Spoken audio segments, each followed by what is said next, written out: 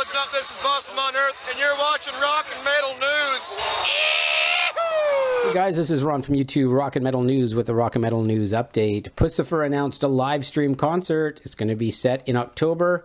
It will be for October the 30th, the same day their new album Existential Reckoning is released. The event will be streamed from Arizona. Tickets for the event are at pusciferlive.com. The show starts at 3 p.m. Pacific Time, 6 p.m. Eastern Time on October the 30th. The event will also be uh, available on demand for 72 hour period. Let's see how Maynard sings after he recovered from COVID.